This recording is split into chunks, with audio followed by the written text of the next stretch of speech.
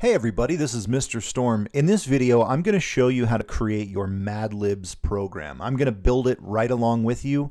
Uh, I'm going to show you exactly what you need to type. Now, obviously, when you're building your program, uh, you do not want to just do everything that I'm doing. You don't want to type exactly what I'm typing because your Mad Lib is going to be different from mine. Now, the best way to follow along with these videos um, is to watch a little bit of the video and then maybe pause it and then go try to do it on your own um, on another screen. Or if you have two screens, you can have one video playing. You can have the video playing on one screen while you're working on another screen and kind of just typing along. You don't want to watch this whole video and then try to go back and recreate what we've done. That's usually not the best way to do it, just because uh, you're going to forget some stuff, right? So it's best to kind of program along with me while I build this. So I'm going to go ahead and click create here. And I want to make sure I choose a Java program because this is a Java program, right? And I'm going to create, I'm going to give this a name and I'm going to call this new mad lib just because I have, I have, uh, I already have some Mad Libs programs in here that I've played around with. So I'm going to create a new Mad Lib and I'm going to click Create REPL. And while that's going, let's talk a little bit about what we want to do in this program. So a Mad Lib is something where uh, your friend would say, hey, give me a verb, give me a noun, and you would give them all these words, and then they enter them, they would write them down on the piece of paper, and then they would read out a paragraph or a story, replacing the word, uh, some key words with words that you gave them, right? I, I'm, hopefully we've all played Mad Libs before. They're pretty fun. But we're going to create that project here in in Java. So notice that I've I've organized my brackets a little bit. To me, it makes a whole lot more sense for my brackets to be on the same my braces, sorry, for my braces to be on the same indentation indentation level. So like right here with class main, we have uh, our open brace for the class I wanted to be on the same line, the same vertical line as the closing brace for that class. And the same thing with the method here, this main method. I want my open brace to be on the same close or same vertical line as the closing brace. For me, it just makes it a whole lot easier for me to kind of see what the um, see where what the scope is of my program. I I, I don't want to add extra braces that I don't need, and this helps to avoid that. Okay. let's go ahead and get started. First thing we need to do is we need to put in some comments with our name and the name of the program. So remember comments are just two forward slashes. My name is Mr. Storm, so I'm going to type that. And then the name of this program is going to be Mad Libs. Okay. Now, the next thing we have to do is we have to start declaring some variables. We have to think about what variables we are going to need. If you already have your Madlib in mind, what your what your output is going to look like, then you have a pretty good idea of what variables you need. I'm just going to put a comment there so I know that's what I need to put in that section. So once I get my variables in there, they're going to go under that comment. The next thing we need is we need to collect the data. We need to collect words from our user and store those words into those variables that we've created. And then the final section of our Madlib is going to be, we're going to output a paragraph or something that replaces keywords with those variables they've entered. So this is going to be our entire program. Now I use comments to try to organize this stuff a little bit so it makes more sense in my brain. now, before we even get started, one thing I know we're going to need is we're going to need that Java utility scanner. We're going to need this. We are going to need the scanner class in order to bring in input from our user. So I'm going to go ahead and uh, uh, bring that in right now, just so that I don't forget to do it later. So import Java util I notice that Replit is trying to finish it for me. It knows that I'm trying to create a Java ut or I'm trying to import a Java utility, and it gives me a bunch of options here. Some some options that honestly we don't need any of these. We're looking for the scanner class, so um, let's just type it. Scanner. So Java util scanner. Now, notice that there's this green squiggly line underneath the, the uh, Java utility scanner. What this is telling me is that we've imported the Java utility scanner, but we haven't actually used it yet. So it's just kind of reminding us, hey, you imported this extra library, this utility that you're not actually using. Maybe you don't need it, but we actually do. We just haven't written any code yet. That'll go away once we actually use the scanner class. Okay, perfect. So now, now that's in there. I'm not going to forget to do that later. Let's go to our variables. So for mine, I'm going to need, and my story is going to be very corny. I'm just showing you guys an example. I want yours to be more fun. Um, you know, come up with some really cool stuff. Now, um, Another thing that we want to make sure we're paying attention to for this project is we are always going to use string variables for this project, right? We're not going to use any numbers or letters or numbers or special characters or anything like that. It's just going to be strings. I only want to focus on string variables right now. Next week, we're going to get into using different data types in, uh, in Java. So I'm going to create some string variables. Now I can create them like this. I can say string noun equals and then give them blank data. I can say string verb equals blank data. I can do that, uh, but I'm gonna have to type out five different lines. I want five variables on this in this program. Remember, there's a little trick that we can use in order to um, speed up declaring variables. If I have a bunch of strings that I want to declare, I can do them all in the same line. And, and again, remember, um, this green squiggly line means that's not necessarily an error. It just means we've created a variable that we have not used yet. So I'm actually going to use that trick. All we have to do is connect these variables with, um, with commas. So verb equals, now I'm giving it junk data just so that we don't forget or so the program doesn't get uh, nervous because we have variables with no data inside of them. And by junk data, I just mean an open and close double quotes. That'll put nothing inside the variable, but nothing is better than an empty variable. I know that it kind of doesn't make sense, but nothing is actually something in, in terms of data. Um, uh, empty means there's there's not even nothing in there. There's just there's an absence of things. I know this is getting a little bit complicated, so let's move on. Um, I'm going to create an adjective and then uh, let's see, what else do I need? Uh, oh, a color. Now I'm starting to run out to the end of the line here. In Replit, when you get to the end of the line, if you keep typing, it'll just push you down to the next line. The other thing we can do is we can move this over a little bit so that we can see more of the line if we want. And we can even get rid of this whole section if we want, because we don't really need files for this project. So we can move that over and then kind of format that how we want. All right. Um, ooh, and then last one, place equals. Oh, hello. I accidentally hit enter. Okay, so now I've declared my variables. Now again, notice they're all green because we haven't used them. We've declared them, but we haven't used them. So that section is done. Variables have been created.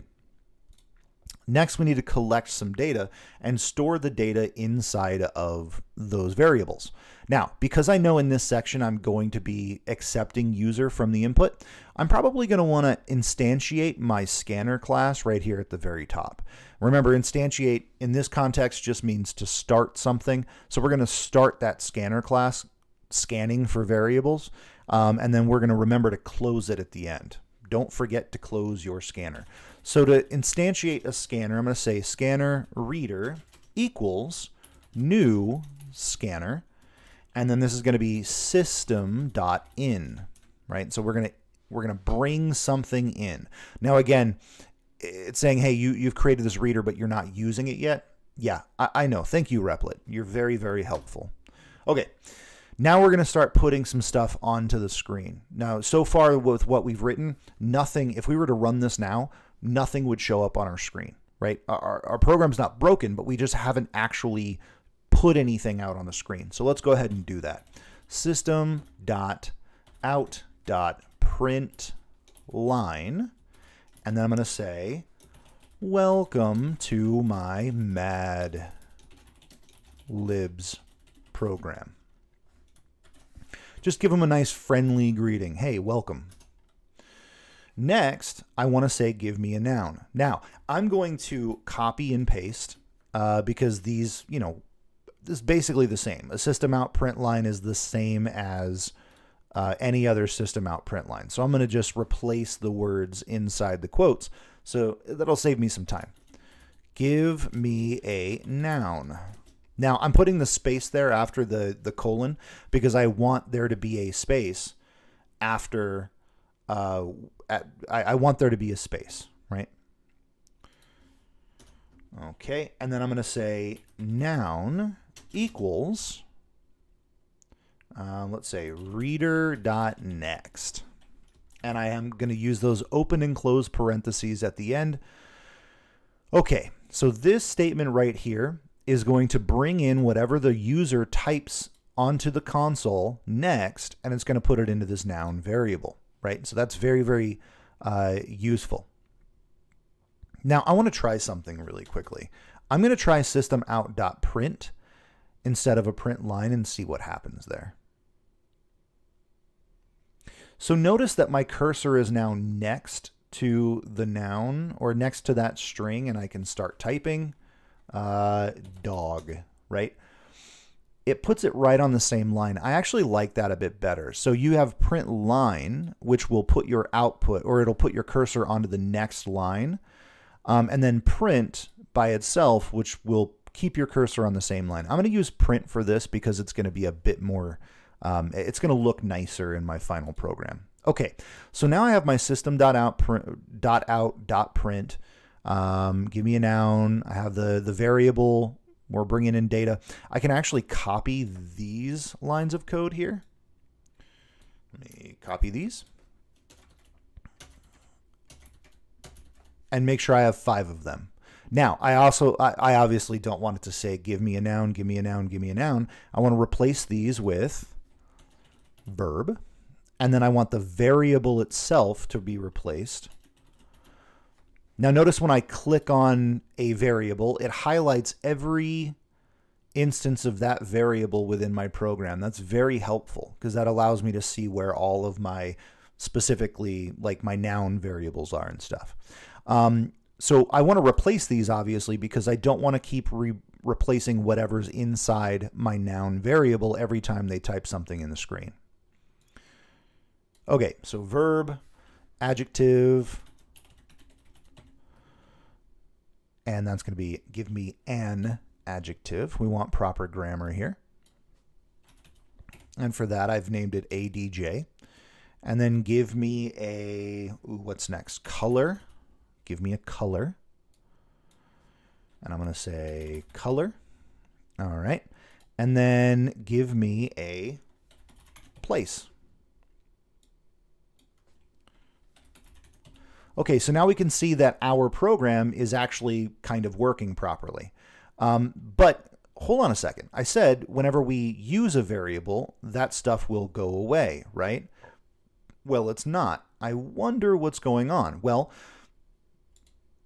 if we look here, it says the value of the variable noun is not used, right? The value or the data that's stored inside that variable isn't used at all. We've actually just replaced the data inside of that variable, but we're not using it yet. You'll see these green lines go away when we get into the next section. But this reader, notice that the reader is a different error than what's up here in our noun. The noun says the value is not being used, but in reader, it says resource leak, reader is never closed. Oh. Oh, okay. I think we forgot to do something. Remember with our scanner class, we have to always close our reader. The problem is if we don't, then it's just going to continuously keep scanning in our program and it's going to cause our our application to use up valuable processing uh, processing speed and, and memory that we don't actually need to use. So open your scanner and then close your scanner as soon as you're done with it, right?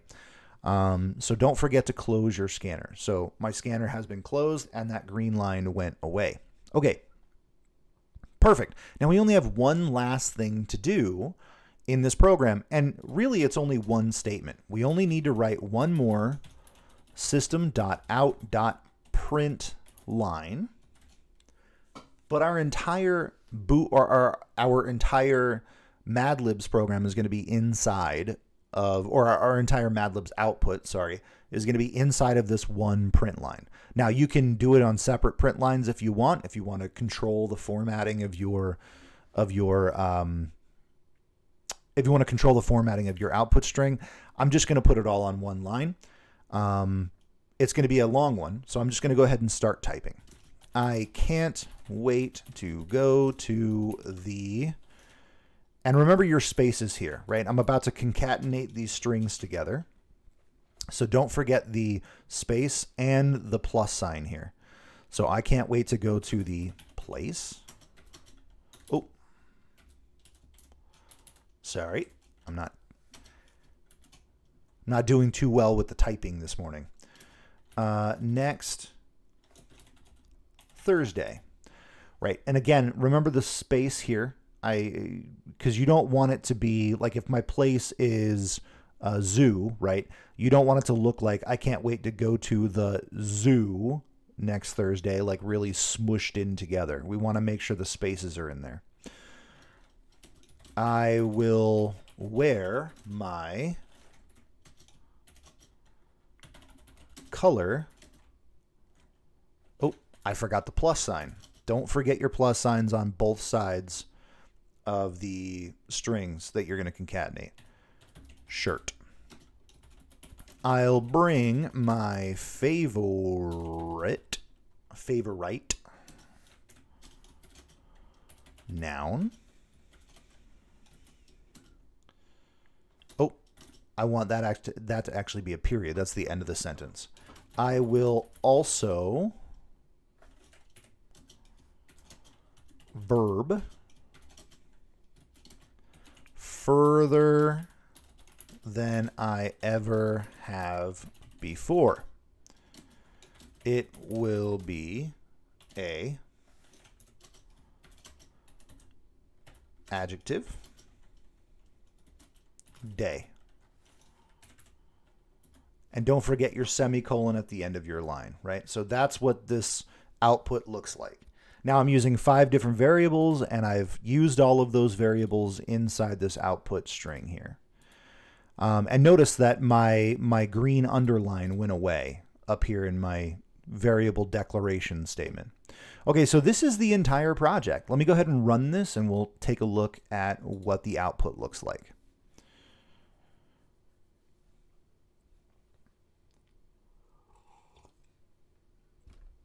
Okay, that might be really hard to read. I can't really increase the console text size. I can make this text bigger, but I can't make this bigger. But that's okay. We'll just deal with it. So it says, Welcome to my Mad Libs program. Give me a noun. Um, car. Give me a verb. Uh, jump. Give me an adjective. Soupy. That's a good adjective. Soupy. Give me a color. Blue give me a place. Um, Denver, right? I don't know. So when I hit enter, it says, I can't wait to go to the Denver next Thursday. I will wear my blue shirt. I will bring my favorite car. I will also jump further than I ever have before. It will be, oh, ah, typo there. It's supposed to say, it will be a soupy day. Let me go ahead and fix that real quick. It will be a soupy day. All right, so that is the entire Mad Libs program. Now, mine is really corny. It's just a one that I grabbed off of one of the kids' Mad Libs and the resources that I gave you guys. Um, I want you to come up with your own. I want to see your creativity in this project. Uh, there's really no point in, in writing computer applications if we can't be creative and silly and and and weird with it, right? So get weird with it. Make something weird, make something fun. Once you are sure your Madlib is exactly what you want, make sure you click invite up here at the top. Click generate a join link. Copy this link here and paste it into the website URL submission in Canvas to turn in your project. All right, good work. I can't wait to see what you guys come up with. See you later.